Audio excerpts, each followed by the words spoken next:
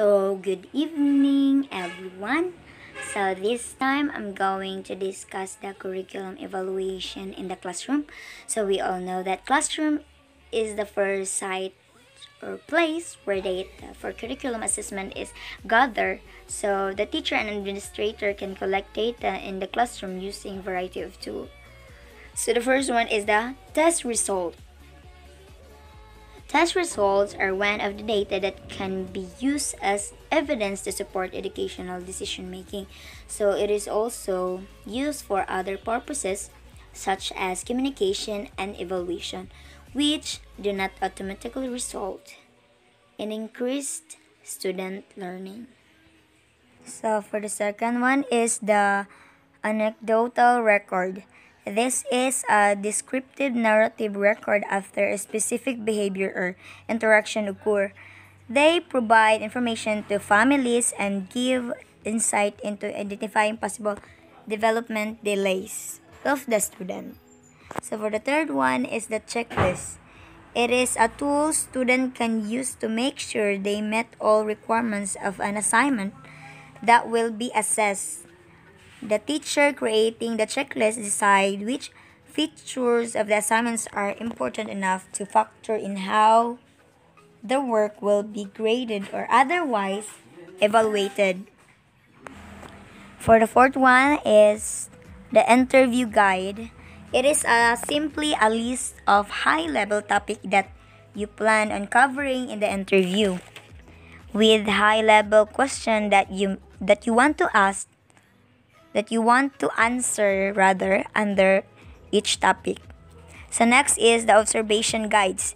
This an outline provides to the pre-service teacher as way to scaffold and support their objective of balanced literacy practices taking place in the classroom instruction. Next is the personality inventories. This is the tool that career counselor, and other career development professionals use to help people learn about their personality types. Um, it reveals information about individual social traits, motivation, strength and weaknesses, and also the attitude. Next is the rating scale test. It allows the teachers to indicate the degree of frequency of the behavior, skills and strategies displayed by the learner, and it is also give the student information and goals and improving their performance. For the last one is the interest inventories. It is a survey um, administered to the student in order to gather information about their interests or to determine for their specific field or activities. In short, it is an instrument to measure and evaluating the level of an individual interest. And now let's proceed to the curriculum evaluation at the school or system level. So the first one is the opinion polls. So as a teacher, we can able to discover the student and how they participate in this active learning exercise to incorporate classroom knowledge in practical in a practical settings. So the next is the survey. So survey is an activity where all the learner in the group need to ask each other question to find information which they need to analyze and report to the class. The next is the focus group discussion. Um, in focus group discussion, it is involved gathering people from similar background or experience together to discuss specific topic of interest. It is a form or of qualitative research which questions are asked about their perception, attitude, beliefs, opinions, or ideas. Next is the follow-up studies, um, graduate tracer studies. So these are the surveys mostly used by the higher education institution um, to follow up on undergraduate and find out what they are doing in insofar as educational and training they have received from alma mater. And the next one is the standard evaluation instrument. So it is a process, impact, outcome, and summative evaluation. So before you are able to measure the effectiveness of your project, you need to determine if the project is being run as intended and if it is if it is reaching the intended interest of an audience. So the next one is the result of district or national test. So the school gathered and analyzed data or implementation of the curriculum and it can also do research activities. Let's proceed to model of curriculum evaluation. The various models for testing instruction have been established by curriculum scholar and practitioner. Each model is a product of countless hours of research by curriculum expert attempting to determine the worth of a specific curriculum. So the first um, model was developed by Malcolm Provus in 1971. So, Provus identified four major stages of conducting curriculum. So, the first one is the determining program standards.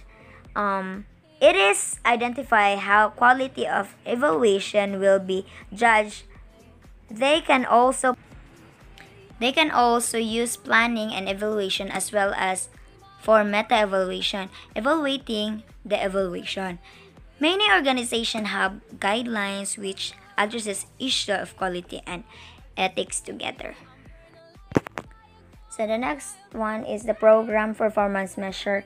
So it measures the performance and conducting an evaluation to improve the quality, effectiveness, or efficiency of the program activities.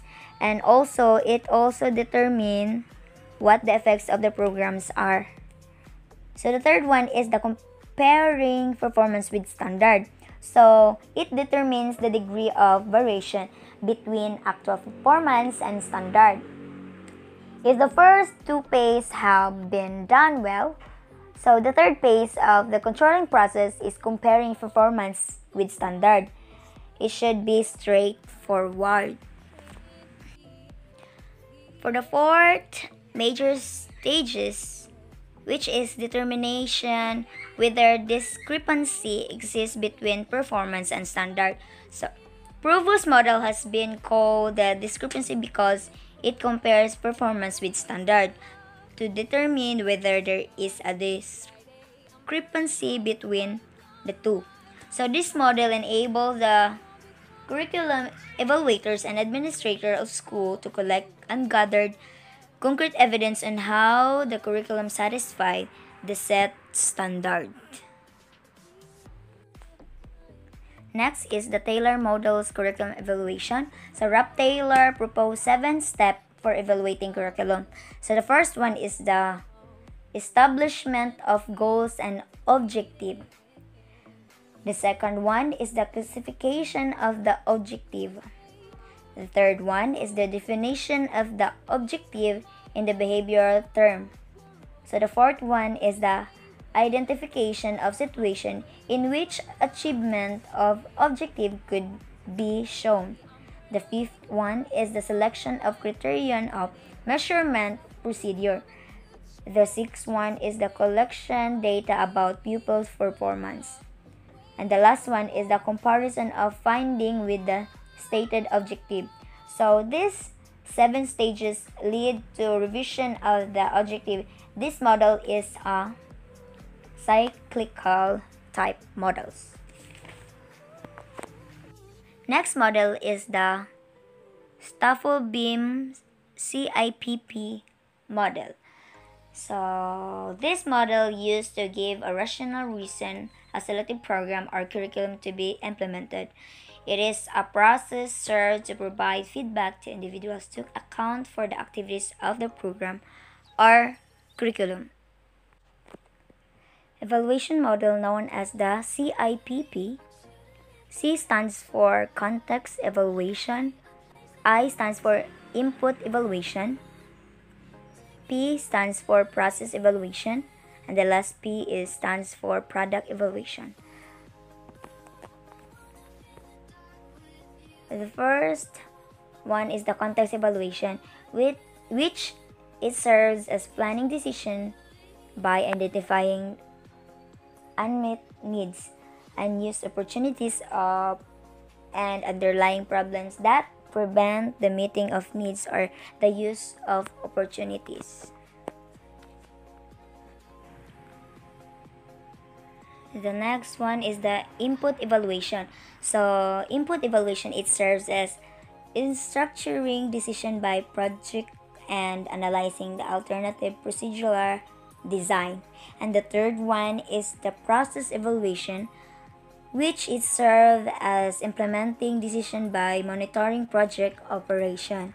And the last one is the product evaluation, which, which serve as recycling decision by determining the degree to which objective have been achieved and by determining the cost of the obtained result. So the last slide I'm gonna I'm going to show to you the the CIPP model. As you can see in the picture, um, the first one is the context evaluation shows about the goals which there is a beneficiaries, needs, resources, problem, background, and environment. And the input evaluation shows about the plans which there is a stakeholders, strategies, budget, coverage, and research. And the next is the process evaluation, which is the action it develop and the first is develop, implement, monitor, and feedback. And the last one is the product evaluation, which is the outcomes, the impact, effectiveness, transportability, sustainability, and adjustment. So, as you can see in the picture, that is an example of CIPP model by Stufflebeam. So I hope you learned something. Thank you and God bless everyone.